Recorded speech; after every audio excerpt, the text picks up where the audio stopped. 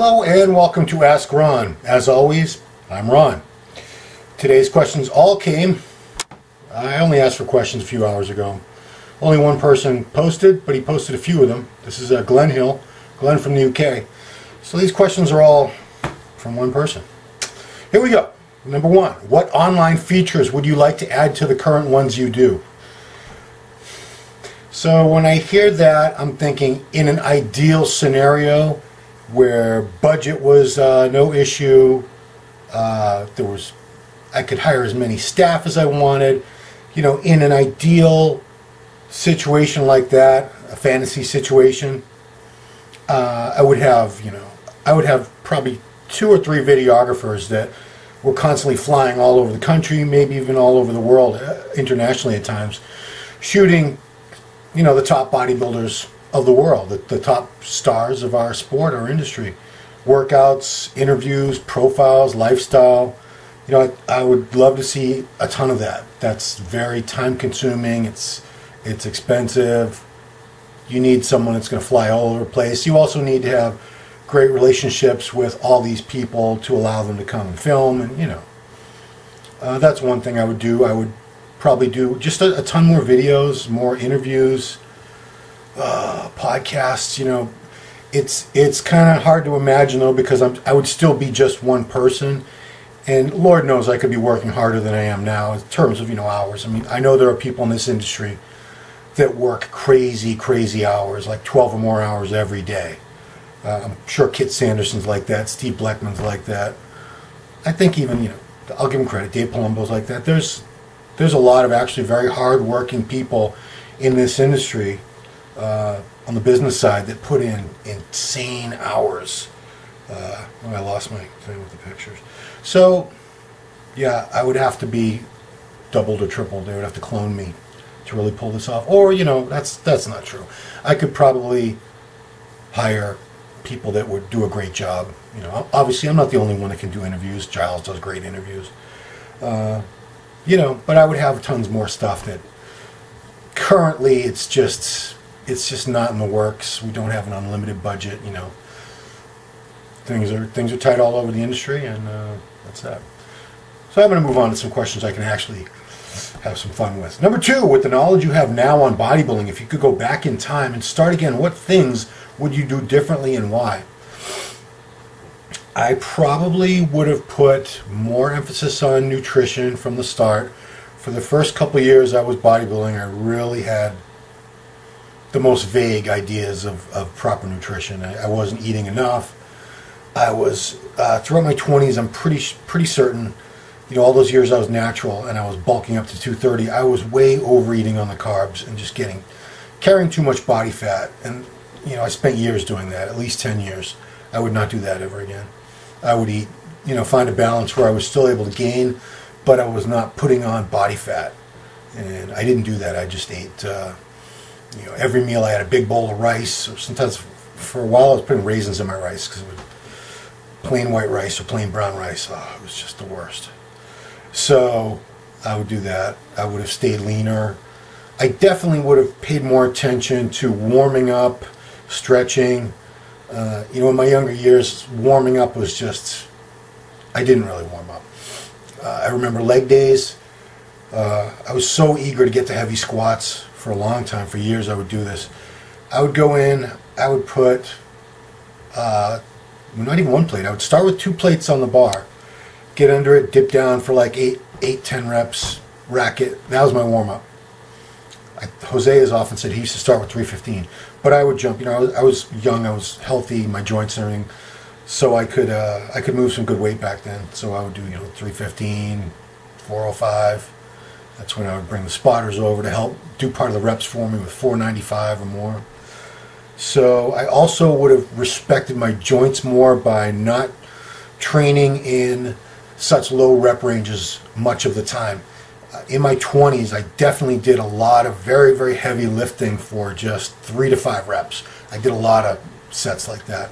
Uh, any kind of a press, because I wanted to get the biggest numbers I could. I wanted to press the one the 150s for chest and the 130s and 140s for shoulders and put 315 on the on the you know barbell and military presses.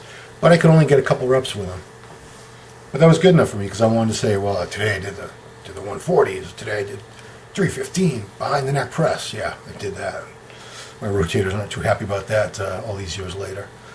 So I would have uh, shied away from that rep range. I don't think bodybuilders ever really need to get that low in the reps to accomplish what we're after. Even if you're in phases where you want to work on strength, just my personal belief. I, you can have your own opinion, and other other coaches and experts they all have their own opinion on this. But I wouldn't go below like the four to six rep range, and even then, only for shorter, limited periods, maybe like you know four weeks or something.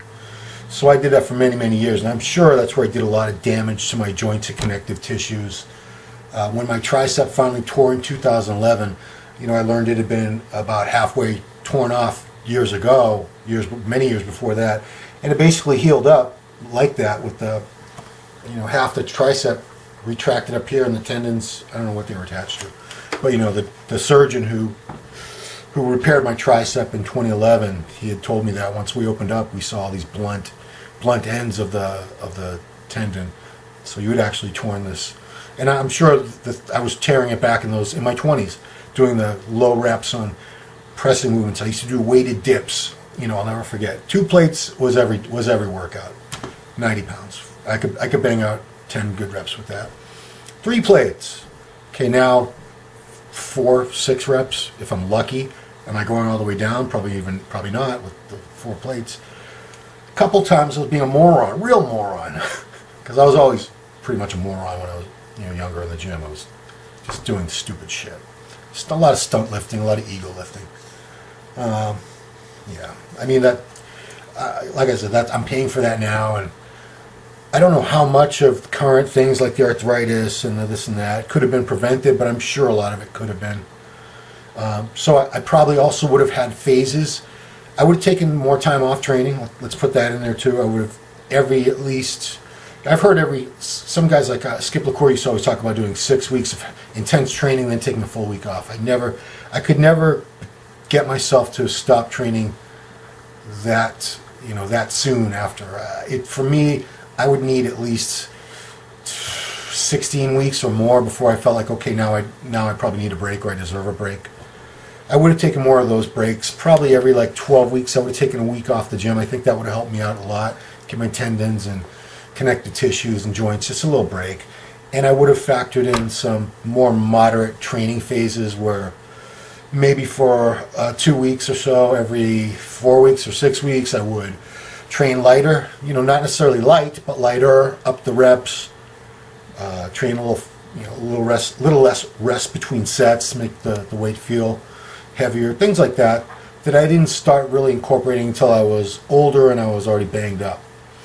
Uh, so those are those are just a couple things. I mean, I could do a whole every every time I do one of these, I could talk about something I wish I could would have done differently. You know, hindsight's twenty twenty. We all, especially because I started out in the pre-internet era, so and I didn't really know any anyone who knew anything. I didn't know any bodybuilders for the first couple years I was doing this. So yeah, I was just so clueless, so clueless. Yeah, anyway, you live and learn, right? Next question. Uh, what do you consider to be the features that make a gym a good gym? That's a great question because I am a snob about gyms. And, you know, when some people say that, they might be referring to the fact they need all these amenities. They need steam room and a pool and this and that. No, I'm a snob uh, with equipment mainly. Uh, I will walk into any gym and all I really, I'd say 90, 95% of my concern is, do they have all the equipment that I want, that I need uh, to get to get good workouts? And that's you know based on some things I can't do anymore or can't go as heavy on. So I rely on certain machines at this stage of my life more so than I would have 10, 20 years ago, certainly. So I'm looking for first thing. I, you know, I want to make sure it's not a tiny little hole in the wall. Nothing wrong with those places if that's what you're into. I just I'm a little claustrophobic. I need some space, or I just I start freaking out. Yeah. Um, so I want to make sure it's not tiny. There's some room to move around. The machines aren't all packed close together where you're gonna, you know, do a press and you bang into somebody next to you doing a row or something. You know, I've seen places that where the stuff is packed that tightly where you do whack into each other at times. Certainly, you have to like me- meander through these things like a maze. You know, after Maze Runner, I don't, I don't want to be anywhere near a maze. So then I look at the equipment. So obviously they're going to need the, the staples, the free weights. So they need to have uh, dumbbell racks, and I feel a good gym should be up to 150. Not that I necessarily couldn't function with anything, you know, 120s or something as the highest, but whatever. It's good. It, it shows that they really have a diversity of equipment and they're prepared for different strength levels because there are some people out there, some guys that can that can use the 150s for a lot of different things. Um, so barbells, benches, incline bench. I'm looking for make sure they have at least one, hopefully more than one squat rack. Uh, this place I go to now, Bayshore Athletic Club. One of the first things that impressed me about it when I walked in uh, years ago. It's in Weymouth, Mass, by the way. No, I'm sorry, Braintree, Braintree, Mass. Rows and rows of leg presses, like 10 leg presses in a row. You hook a left, uh, it's eight squat racks in a row, two power racks, uh, Smith machine. So I want to make I want to make sure all that's covered. That stuff. They're the free weights. Then I'm looking for a full, full or pretty close to it line of the hammer strength line. I like a lot of those machines. Uh, they they're really good in in my point of view, where I use them for many years and, and, more so today than ever, is as a good secondary movement. So, say if I'm doing chest, I would do the first movement with probably dumbbells. Uh, so one one good free weight movement, and then the secondary pressing movement. The second one in the routine would be a hammer strength machine, and then I'd probably move on to some type of fly machine, and then end with another kind of bench press machine. So I want to, and there's other machines. I want to make sure there's a decent hack squat that's that's smooth and it's not going to give me knee pain. Decent leg presses, uh, just the type of variety, the variety of machines. I want I want to see everything. Is there a seated leg curl? I'd really I really like it if there's also a standing leg curl. Obviously, they should always have a lying leg curl. just there's a little checklist in my mind of things that I I like to use on a regular basis, and I know I'd be pretty upset if I could never use them. One of the things I used to look for was a pullover machine, but those are so few and far between. I don't even worry about that anymore. I just do them with a cable, a lat pull down bar on the cable stack. So I'm looking for the full line of machines and so equipment. Once I get the equipment out of the way, and if I'm pretty happy that it's, it's got a very nice variety of equipment, and you know duplicates are great too. Like I said, multiple leg presses. You know, if everyone's waiting for the same bench or the same leg press um, on a, in a busy busy time of day or night. It's it's rough. Any waiting for equipment when you're trying to keep a good workout base, oh, it's, it's a killer. It's a workout killer. So, you know, Montanari Brothers Powerhouse Gym is like that. Very, uh, very good range of equipment where they'll have 10 leg curls in a row, 10 leg extensions in a row. So you never, no one, you never have to wait. Even when I've seen that place really busy, nobody was waiting around. And I've heard, I've only, I've only been there a couple times. I've never trained there. Bev Francis' Powerhouse in Syosset uh, hear I did see the equipment they have there is pretty kick-ass, and I like the way the place is laid out. Unfortunately, both times I was there, I didn't get to train. Okay, so the next thing I look for, I need a general read on the atmosphere of the place.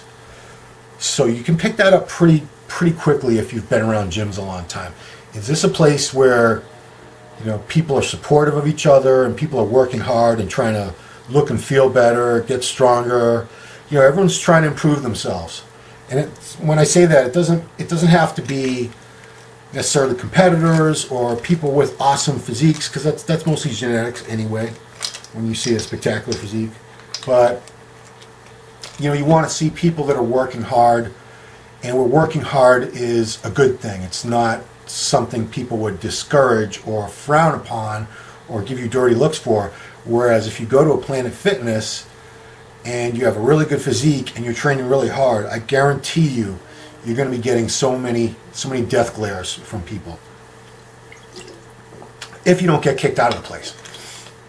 So, you know, another just little things like I'm looking to see are the weights put away or are these the type of members that they don't care, they don't respect the place, and they, they just leave equipment all over the place and leave dumbbells all over the floor. There's a, I've said this before, but there's another gym that I still have a membership to it's a not even a 10 minute drive. It's like an eight or nine minute drive from my house. And uh, I love the equipment. A lot of the pieces of equipment there I really like a lot. So equipment wise, the place is pretty damn good. But the atmosphere over the past year or two has gotten so bad that I barely ever go there. I'll do I'll go there for cardio and calves or something. I don't really rarely do I train a body part there anymore or train with you know, weights. and it's because it's this uh, a whole new clientele to the gym, the, a new type of membership where they weren't putting the weights away, and that just drives me insane, insane. Uh, I was there doing cardio today, and I saw uh, in the squat rack, in the very top pins. So this, what's that? Like eight feet off the floor. There's a barbell, bad enough, 45 on each side. So whoever was, I assume somebody was doing shoulder presses with that. They had to be about six five, six seven, in that range to be able to to do that. So and they left the weight there. So I hate that.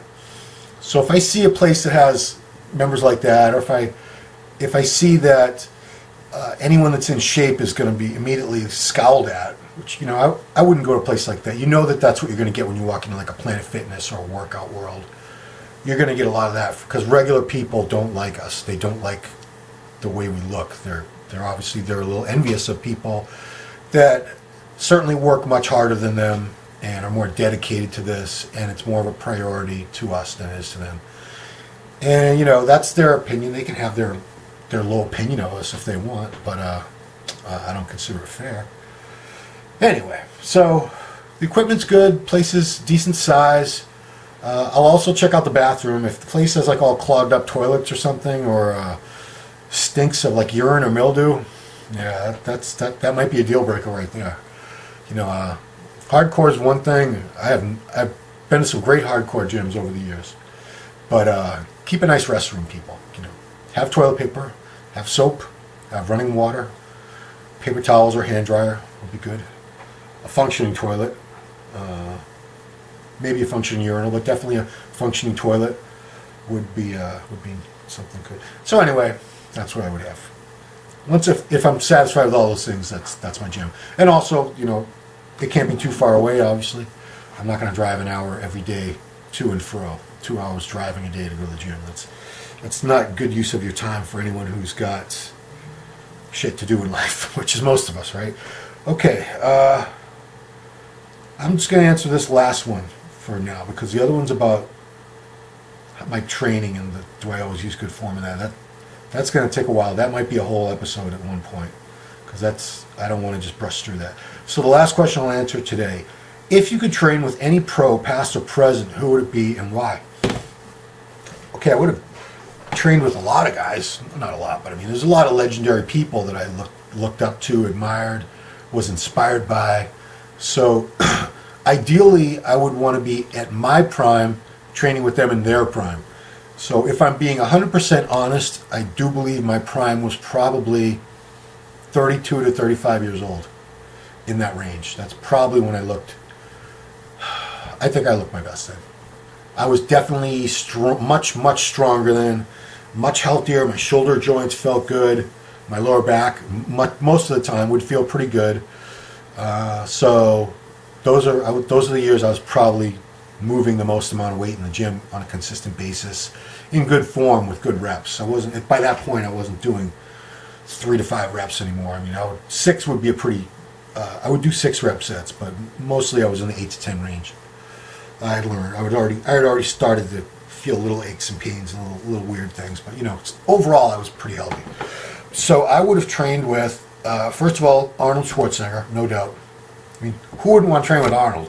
You watched him in Pumping Iron, and he just he, was, he seemed like he was he was intense as hell when he had to be for the sets, but in between he was having a great time. He was joking, laughing, and, you know you can turn it you can turn it up. Most of us, I think, have that ability to turn it on and off like a switch. So it's okay to have a good time in the gym. I don't think you have to be like hoodie down and scowling and headphones in and shutting out the world. You, if if that's what works for you though, if that's how you get the best workout, do that absolutely. And I think for some people that is the best method for them to get a, a great workout. I think uh, at least an equal amount of people are, are capable of having great workouts and having a really good time. And you know, why wouldn't you want to have a good time? I mean, this is uh, this is fun. I love training. I love going to the gym. I've been doing it for 30 over 35 years now. I still I still love it. It's it's you know it's always a good part of my day. It's it's usually the best part of my day. So, I mean, Arnold was someone, not obviously he's iconic in so many ways. Just for that reason alone, I'd want to train with him because he was huge inspiration to me uh, in Pumping Iron, and his, his action movies that he did. So many of so many young men all over the world were inspired to pick up weights from him. Him and Stallone, I would say, during the, the 80s and the 90s with the action movies. So Arnold for sure. Uh, next up, legs with Tom Platz. And by no means, no means do I even uh, pretend to dream that I could keep up with him exactly on legs. You know, I the weight's definitely not. I mean, he was doing some crazy, crazy high reps with very heavy weight. But I think it would have been amazing to try to, to try to keep up with Tom Platz legs because I, I don't I don't know if anyone's ever trained legs harder than him. I don't know, maybe. I trained legs with Branch and that guy trains. That's he was on the road and it was off season where he was and he still was training like a like a beast, beast.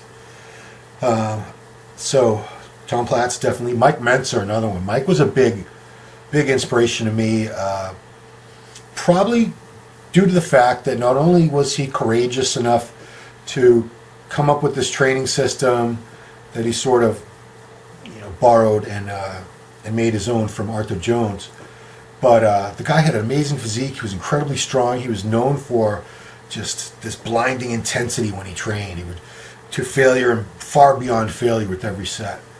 So I think it would be awesome to train with him. Uh, I did get to train with Dorian, but Dorian wasn't really pushing. Was still, don't get me wrong, he was still very strong and everything. But, uh, what is up, Larry? But Dorian uh, was not training for mass or anything like that. This was long after he retired. I would have liked to train with Dorian during his Olympia reign. Uh, same thing with Lee Haney. Uh, same thing, Rich Gaspari at his prime, another another man known for his, his training intensity. And, you know, that's probably it. I don't want to be greedy and ask for like a million people.